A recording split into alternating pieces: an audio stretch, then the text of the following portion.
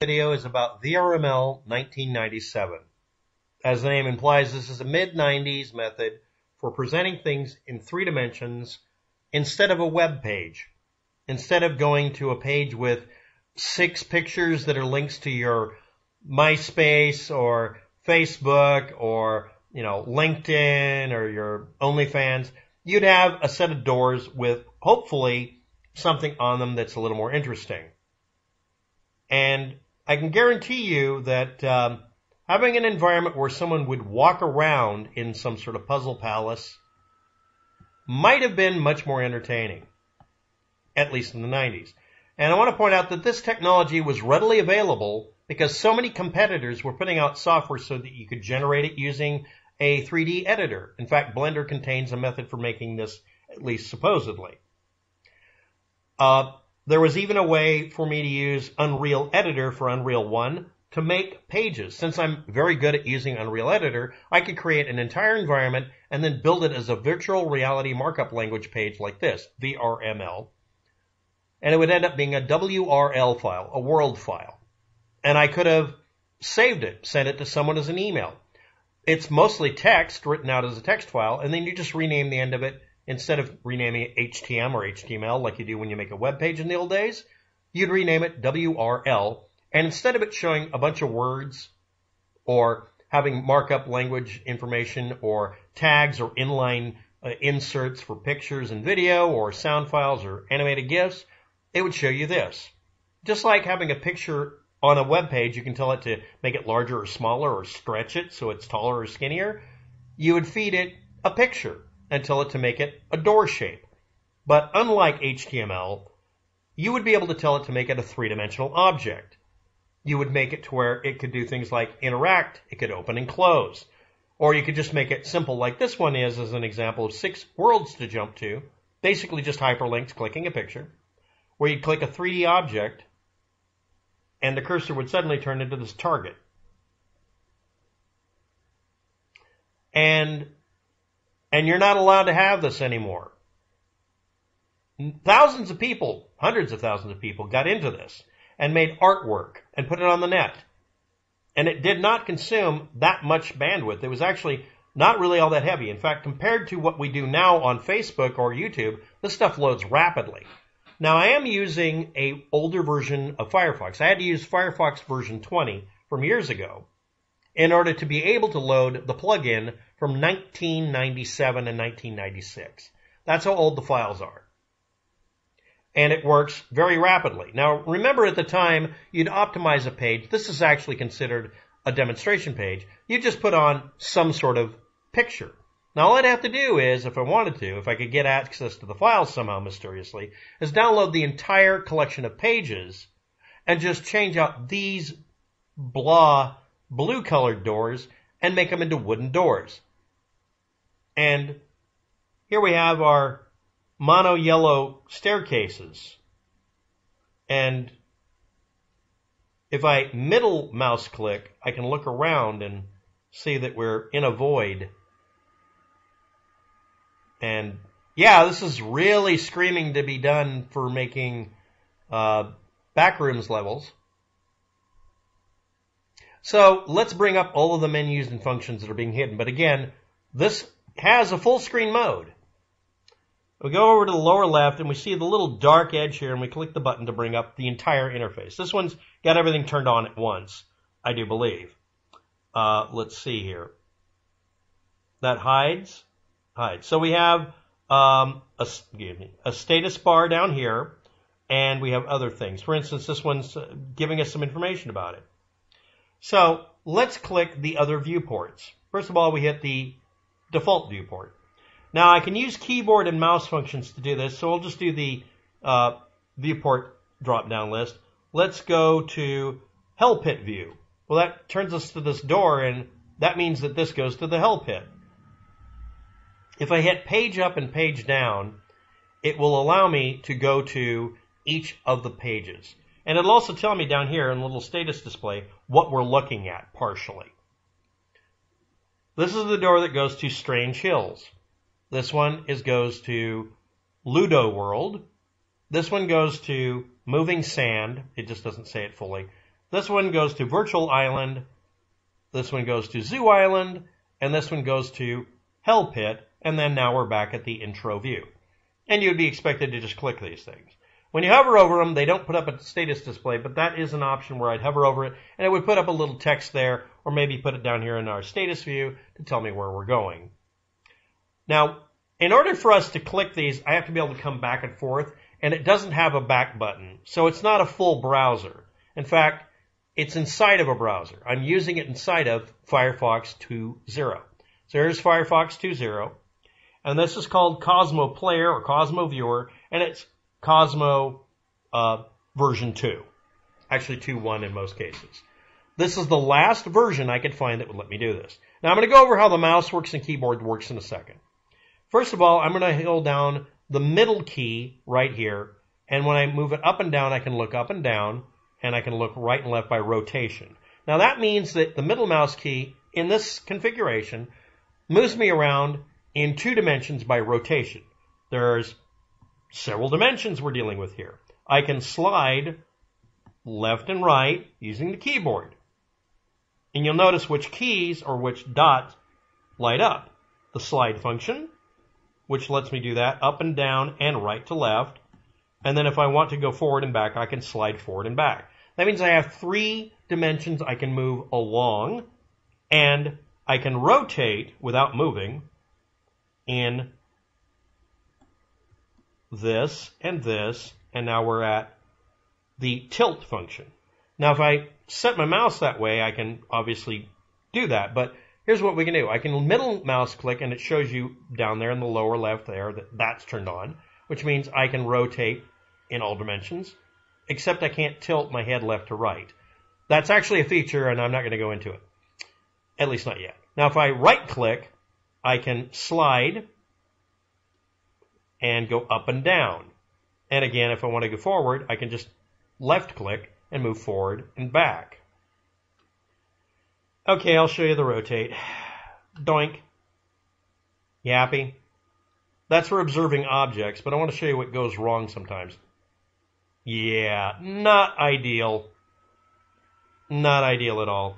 So uh, let's go back to our entry view. That's why they have those views, is so we can reset our positions. Now we're going to click forward and back into the worlds, and I have to have the back and forward key to do it. So let's click this one. This is called Hell World or Hell Pit. And I can move around with the keyboard. I can also move around by just moving like this, and I can use the middle key to tilt up and down, and the right key can shift me and shimmy. And right now gravity is activated. Now let me hit the shift key so I can run over here and jump in the pit.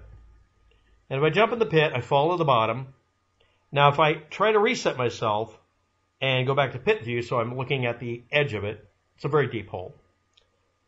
Gravity says it's enabled, and I can go ahead and tilt myself.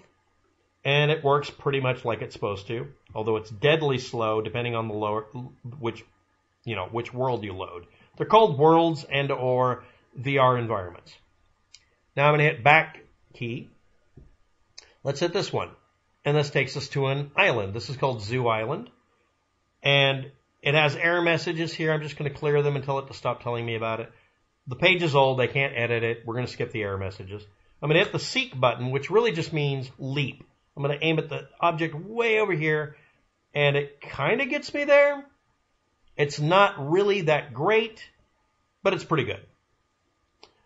Now, you might be thinking, why are we looking at this? This is silly. Now, as you may have noticed in the previous one, all the all the low resolution stuff going on. Okay, well, does it have to be? The answer is no, it doesn't. We can use very high resolution images if we want to. Again, this is optimized for 1995 Windows 95 installs, but you can have resolution that's very high if you want to. I can even tell it to jack the resolution up to where it's nearly photorealistic. And that's kind of all there is to this. This had a lot of potential, and there was even an upgrade a little while later, very, very short time later, that allowed people to load literally photorealistic environments. and this is the moving sands. The sand appears to be breathing, like an earthquake's going on. It's cute. This is, well, it's actually just called hills and it's a blank area. Let's look at this one. This is a playground area themed something something. And it has roads and uh, there's a buggy over there. So let's go visit the buggy. We're going to hit our targeter toy and go all the way over here. And this may have been built with the ability for us to actually interact with it. We might have been able to get into it, walk around over here, maybe uh, be driving it. I've driven a couple of these. Oh, we can click it. What happens? Well, nothing. It has a bunch of errors in it and it doesn't work, which is sad. But wait a minute, I'm using software from the same era. Shouldn't it work? the answer is obviously yes. That was interesting. Uh, now I'm going to get to the sad part of all this. This artwork, I call it artwork, by the way, because it is artwork. Someone put their blood, sweat, and tears into this. Isn't compatible with the software it was written for. I'll bring you back to the uh, rather liminal environment here for a few minutes, and I'll do my closeout. Most of these pages are simply not able to work. I was I was happy to find any page that would work, and I was amazed that I could, um, because normally they don't, and that's intentional. Why do I say that? Okay, really simple and to a conclusion. While I can download a browser that'll let me use the older plugin that does this, and it works as good as it's going to. Every single company that put out software to edit these pages and every single company that put out plugins, like I'm using now, went out of their way to destroy them. Every few months or years, they would put out a new version that made it to where your old artwork wouldn't work anymore to force you to buy a new editor. Um, and that means that memorials to people's former family members, uh, entire web communities, vast amounts of very clever puzzles and yes, liminal spaces are or may now be very soon completely missing. Over 99% of the content that was out there has been lost because people were slowly and miserably tormented into not trying to update them. Because they kept updating them, they doomed them to failure. Yes, this is a absolutely borderline crappy environment. And yes, I could, if I really wanted to, and I might do it, don't tempt me, I might go ahead and turn this into a high resolution environment and make it into a liminal space video someday. Hell, it even comes with mono yellow pre-coded into the level. And I can make this nearly an infinitely large array of them, literally like the back rooms. And it would just be needing me to either find almost impossible to find software to write it with or use Blender to dump it out because I can get Blender to do the editing technically. Although it fights me too because lawyers and copyrights and patents got in the way of this. Sound familiar? Getting rid of your ability to be creative on the internet or have a 3D environment to run around in and have nobody charge you a fee or give you microtransactions or shove an ad in your face. That just can't happen. And if anybody's curious, every once in a while I mumble about this being a lost set of technologies and arts. And maybe this video gives you an idea of why. Now, there is some hope for this. The original standard and many of the subsequent standards are still open source, just like the internet. And just like the advent of Internet Explorer, trying to make it to where the internet was something you had to be paying Bill Gates for, and it failing, this was also a failure. All of these companies that put out all that software and all of those restrictions and copyright restrictions and all of the 3D consortium jerks that became part of the problem instead of solving it, that made it worse and worse. All of them that are dead ass guilty of this it's still technically alive. But again, I'm going to remind you, the reason you can't have this, the reason it is now essentially gone, or almost gone and fading away, was it was intentional to stop you from being creative in three dimensions instead of the one or two dimensions you can do on the internet now. And all you have to do is learn about it, click some links below, and maybe it won't fade into the distance like this. Thanks for watching. Have a good day. Good luck with that.